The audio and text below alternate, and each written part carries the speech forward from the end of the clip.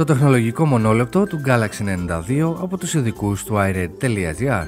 Οι καταναλωτές προτιμούν να κάνουν αγορές online μέσω smartphone παρά με tablet.